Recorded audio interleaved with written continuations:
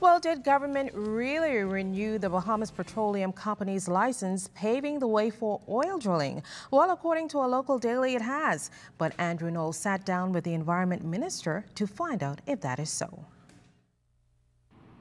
Environment Minister Kenred Dorsett is taking issue with an article appearing in a local daily on Monday, reporting that the government renewed the Bahamas Petroleum Company's oil drilling permits. Minister Dorsett says his ministry made no such renewal. BPC released a statement on its website Monday morning stating that it had received written confirmation from the government with regards to the good standing of its licenses and that it was in full compliance with the terms of the signed oil exploration licenses, the provisions of the Petroleum Act, and the petroleum regulations of the Bahamas.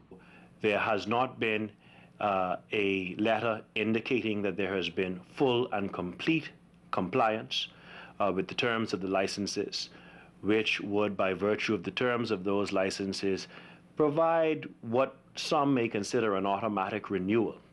But beyond all of those issues relative to the licenses, the government has made it incredibly clear to BPC, and now that has been done in writing, now, Minister Dorsett noted that his ministry did issue a letter to BPC indicating that while the company had complied with a number of items outlined in the agreement, there was still some critical outstanding issues to be addressed before it will be in full compliance. The BEST Commission, which is responsible for advising the government on certain environmental uh, issues, raised some uh, uh, uh, concerns and have asked for additional specificity to be provided by BPC.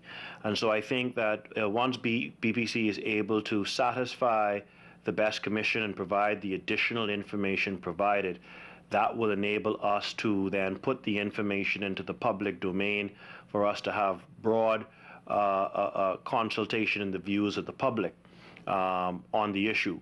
Minister Dorsett says the letter also reiterated the government's position on oil drilling.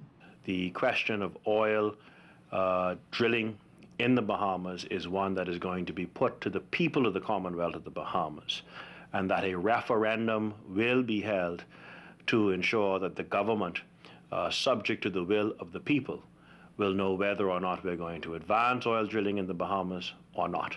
And as for when the referendum is expected to be held, Minister Dorsett anticipates the Prime Minister will set a date within the coming weeks.